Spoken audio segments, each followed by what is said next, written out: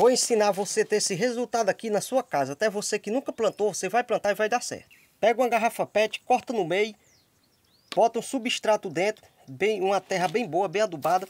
Aí você vem aqui com a sua semente de coentro e você vai tipo salgando aqui, como se estivesse salgando uma carne, gente. Coloca assim, não coloca tanta semente. Aí agora vem aqui, ó, com um pouco de esterco de gado e cobre. Não precisa botar tanta, tanta em cima, senão vai ficar muito pesado aqui e não vai germinar. Plantado e regado, deixa na sombra, de 5 a 7 dias vai germinar. Quando tiver com 12 dias, você vai ter desse jeito aqui, ó.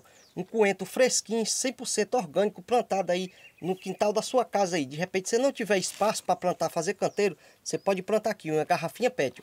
O segredo aqui, ó, quando ele ficou desse tamanho agora, você pega ele e pode botar para tomar sol, de 3 a 4 horas de sol por dia. Agora, o detalhe que você não pode esquecer isso aqui, é a rega.